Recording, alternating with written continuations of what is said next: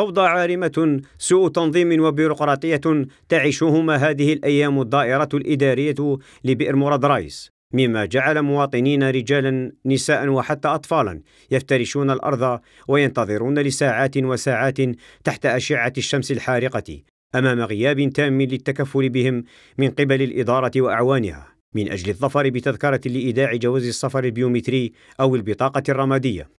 وضعية وقفت عليها الشروق نيوز اليوم في زيارة مفاجئة لمقر الدائرة الإدارية ببئر مراد رايز مواطنون رمى بهم القدر إليها وضاقوا ذرعا منها.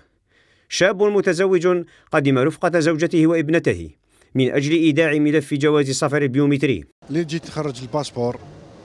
أنا وبنتي والمرأة ديالي ما نقول لك ذكروا ما نقول لك بالك داروا قوانا. بصح أنا رانا مظلومين. باش ندير باسبور وندفع الدوسي كاع هاوليك الدوسي. وجا جوج, جوج كيلو تاع الدواسه وكي نروح لعندهم لازم نوضع ثلاثة تاع الصباح.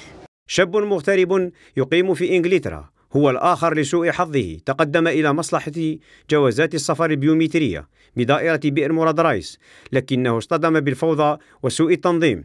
من الانجليز اجينا الصباح لهنايا. راك تشوف الغاشي والله العظيم سي سي, سي با نورمال. انا حنا الناس تتقدم وحنا نرجعوا للور. لازم يتبدل كل شيء. الجزائر راهي ميلونج.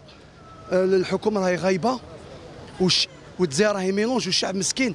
يسحق غير ان بابي ماهوش يطلب يطلع المريخ. الحال نفسه اشتكى منه آخرون قدموا من ولايات أخرى من أجل سحب البطاقة الرمادية. خويا جينا من الصباح وحنا قاعدين نستناو. ديماريت على الخمسة تاع الصباح من البويرة. لحقت هنايا déposé تاع الثمانية مازلت لدوكا ما ديتش fiche contrôle علاه يعني هذا المنكر هذا راهم يديروا فينا في المنكر علاه.